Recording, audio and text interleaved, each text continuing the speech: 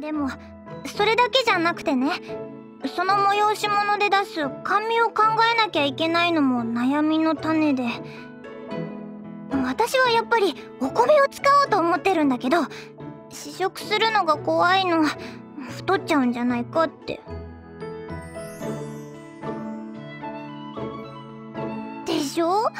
でも大好きなお米は使いたい！お米のためなら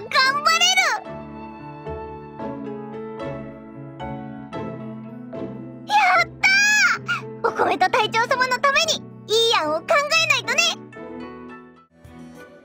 落ち着け。もう一度鏡で確認して。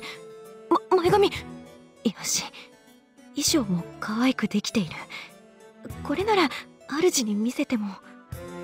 ってあれ？鏡に誰か映って。え